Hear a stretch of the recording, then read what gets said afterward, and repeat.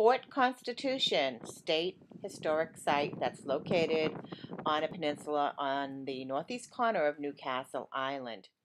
It overlooks both the Piscataqua River and the Atlantic Ocean. Fort Constitution is actually one of seven forts built to protect Portsmouth Harbor. You know, this is a, a sweet spot driving up the coast that anyone can stop at.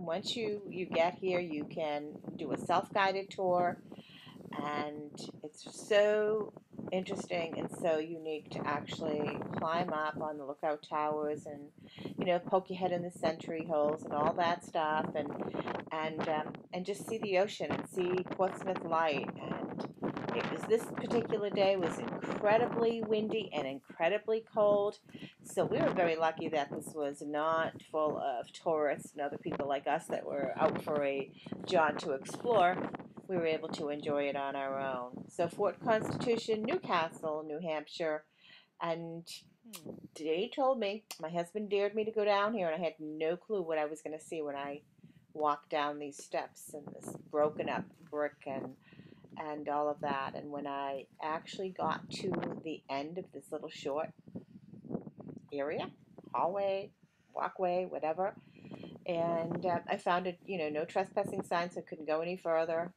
but it just sort of overlooked the lighthouse grounds and, and the ocean and just really dramatic. So I hope you liked my little video. Hope it gives you a little bit of an idea of what Fort Constitution is like.